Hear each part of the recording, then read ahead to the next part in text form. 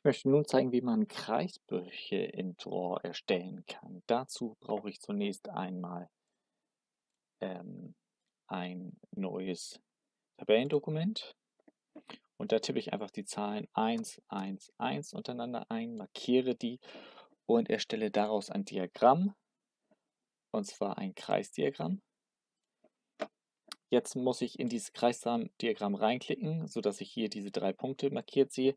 Und dann kann ich die hier kopieren und hier auch einfügen, indem ich auf Einfügen, äh, Bearbeiten, Inhalte einfügen, Inhalte einfügen gehe und das jetzt als Graphics Device Datei einfüge.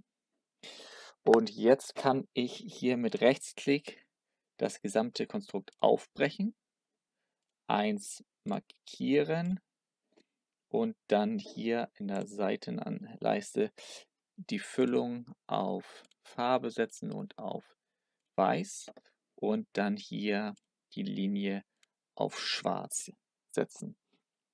Ähm, damit ich das nicht bei den anderen machen muss, geht es ganz einfach, indem ich hier den Pinsel benutze und das hier jetzt übertrage.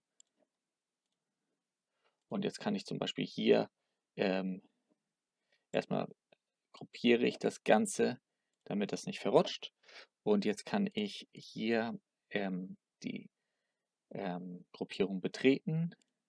Das hier einmal grau, ups, ähm, Steuerung Z für zurück, ähm, die Farbe hier ändern auf grau und dann wieder verlassen.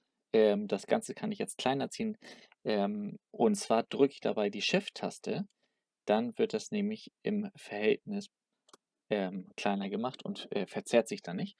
Und jetzt möchte ich noch einmal das beschriften mit einem Bruch. Dazu gehe ich auf Einfügen oder Objekt Formel und kann jetzt hier einen Bruch eingeben, tippe hier rein die 1 und die 3 und dann habe ich hier meinen Bruch und den kann ich jetzt hier Beispiel darauf ziehen.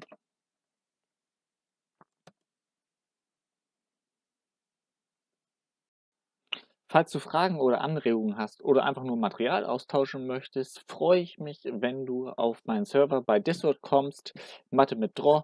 Den ähm, Link zu der Einladung, den findest du unter dem Video.